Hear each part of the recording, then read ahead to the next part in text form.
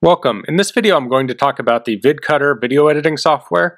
And VidCutter has a unique ability that you can trim up video uh, without re-encoding. And there are some other pieces of software that can do this. It's not the only one, but um, like the big name software usually will re-encode.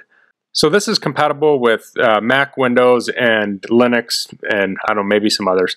Um, so if you go to Google and type in VidCutter, I like to go down here to the GitHub link. If I click on that, and then you just scroll down and you'll see this Windows plus Mac users latest release. You click on that and then scroll down some more. And then at the bottom of the page here, you can see the uh, Win32, Win64. So most people are going to want Win64 if you're on Windows. On a Mac, you're going to want to use this Mac OS DMG. So I've already downloaded it, so I'll open it up.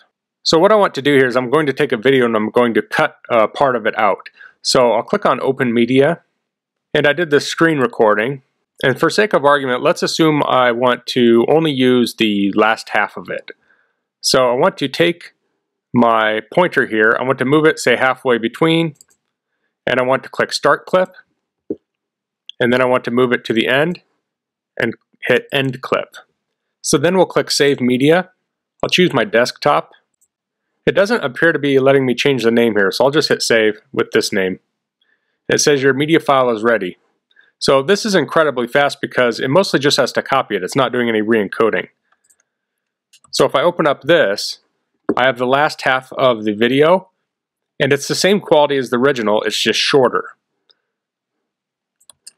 So say you had some security camera footage that was a, an hour long and you wanted like 30 seconds of that, you could use VidCutter to cut out that 30 seconds and you're not re-encoding it, so then you have a good um, you know, quality image there. So I previously used to use MPEG Streamclip to, to do the same thing, but it is no longer compatible with uh, Macs because it's not 64-bit.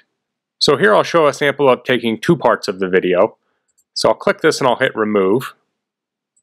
So I'll put the playhead here, I'll say start clip, go to the end, say end clip. I'll move somewhere else, I'll say start clip, again, end clip,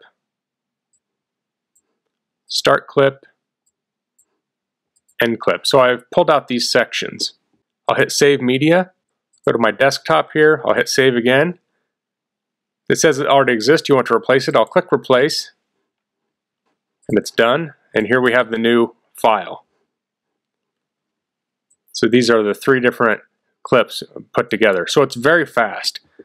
So I think VidCutter is a good tool to keep in your arsenal for uh, paring down large video, um, especially if you have a really long clip and you only need a short portion of it and you don't want to re-encode. So if you have any questions about this, please leave them in the comments. If you like this video, please click like. If you haven't subscribed to my channel, I'd appreciate if you could do that. And thanks for watching. Until next time, goodbye.